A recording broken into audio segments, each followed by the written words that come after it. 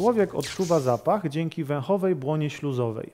W tej błonie znajdują się także zakończenia bólowe, które odpowiadają za łzawienie, gdy na przykład dobieramy cebulę, kichanie, gdy do nosa wpadnie nam pieprz lub zatrzymanie oddechu, gdy wąchamy chrzan lub jakąś drażniącą substancję. Nasz zmysł powonienia pełni także funkcję ochronną i może nas ostrzec przed niebezpieczeństwem.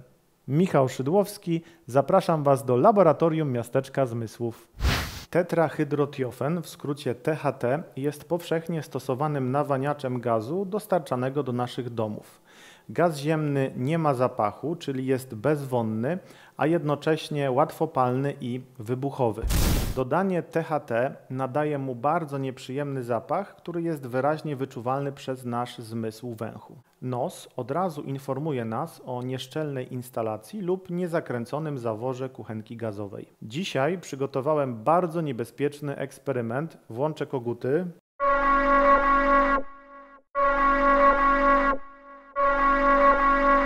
Te małe kamyczki to węglik wapnia, często nazywany karbidem.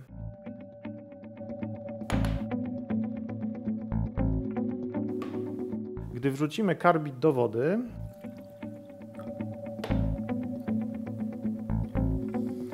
wydziela się cuchnący gaz.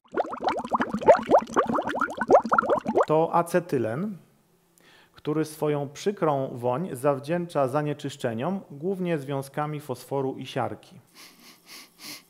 Czuję subtelną nutę hmm, zgniłych jaj i zepsutego czosnku.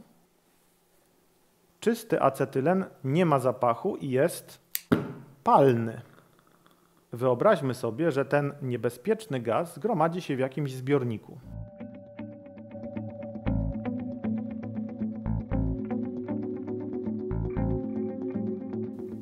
I nagle pojawia się iskra.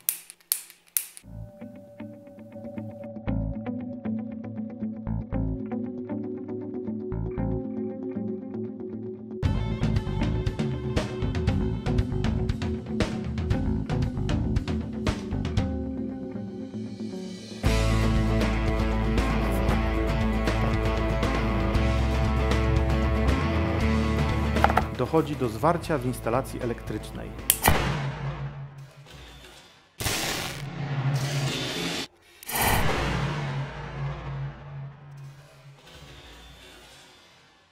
Uff.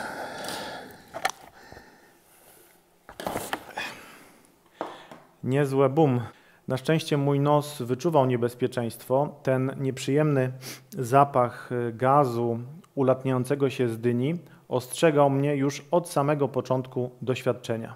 Jak widać, nos może uratować nam życie. Tego doświadczenia nie można powtarzać nawet jak jest się dorosłym. Pamiętajcie o tym i do zobaczenia w następnym odcinku.